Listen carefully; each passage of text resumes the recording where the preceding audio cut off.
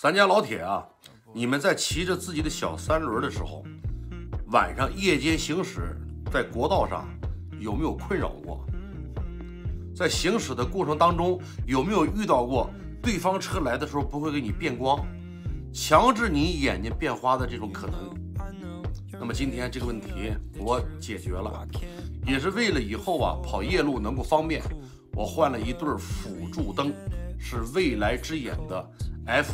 幺五零，咱们现在是晚上啊，我们一起来出去看看这个灯光怎么样？Nice，近光是吧？把远光开开。好，好了，兄弟们啊，现在这是未来之眼的一个近光，咱们再把远光开开。远光。好。嗯，把爆闪，再摁，再摁，把近光，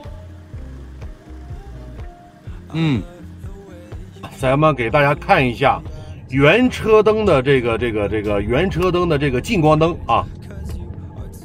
好，这是原车灯的近光灯。我们再来看一下原车的远光灯啊，你看就这样的啊。现在我们把它给关掉。好，我们再来看一下未来之眼的近光灯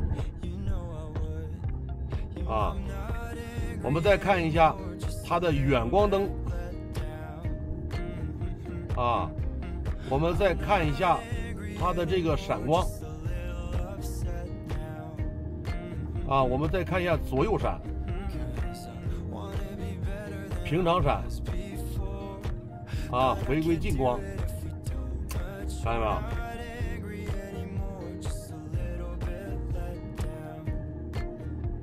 嗯，怎么样，兄弟？啊，我选的这个幺五零性价比还算是比较高吧，对吧？呃，为什么呢？因为这个灯啊刚装上。我还没有去，呃，去去那个干嘛呢？没有去把它重新给铺下光，为什么呢？因为着急去吃 吃东西，所以就没有没没有弄啊。等明天吧，明天晚上会找个时间啊，把这灯光呢重新给摆一摆，两个灯架往旁边移一移，这样的话呢，它灯打出来以后啊，它的宽度就非常好。无论是远光和近光呢，都是非常的漂亮啊！这两天呢，呃，我要去趟防城，正好呢算是一个小长途，我们可以在国道上来测试一下这个灯光究竟怎么样啊！目前为止呢，看着还算是不错，最起码比原厂的车灯要好的多了多了，那么，哎，这样的话，因为年龄大了嘛，这眼睛会容易花。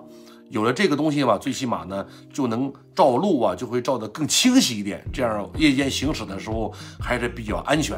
但我一般呢还是很少，呃，晚上来去骑那车的。但是有的时候吧，真要有些什么特殊情况哈，他没有办法嘛，还是有这个必要的，好吧？那得，咱们这期视频呢就到这儿了，我们下一个视频再见。